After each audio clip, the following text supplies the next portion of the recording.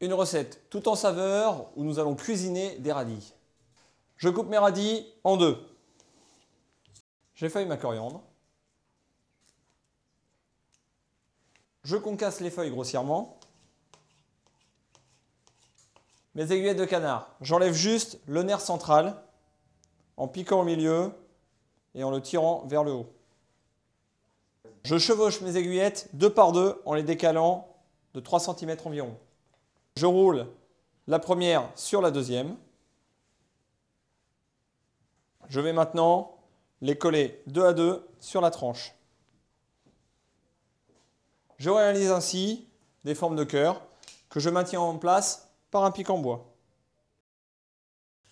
Dans une poêle chaude, je mets un filet d'huile d'olive, je pose mes aiguillettes de canard et je vais les cuire et les colorer pendant 3 à 4 minutes. Je retourne mes aiguillettes J'ajoute dans ma poêle les éléments de ma laque, la sauce soja, le vinaigre balsamique et le miel.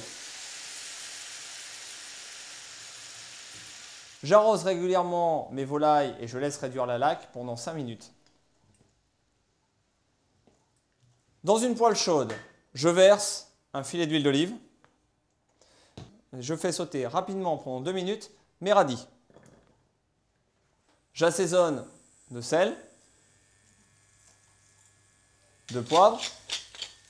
Je termine la cuisson de mes radis par quelques gouttes de jus de citron qui va me permettre de décolorer la peau. Et je les réserve. Mes volailles sont cuites. Je termine en ajoutant les baies roses dans la laque. Je dresse mes radis dans l'assiette. Je pose dessus mes volailles. Je sauce sur le bord de l'assiette. Et je parsème le tout de coriandre. Voici un plat qui ne manquera pas d'épater votre bien-aimé.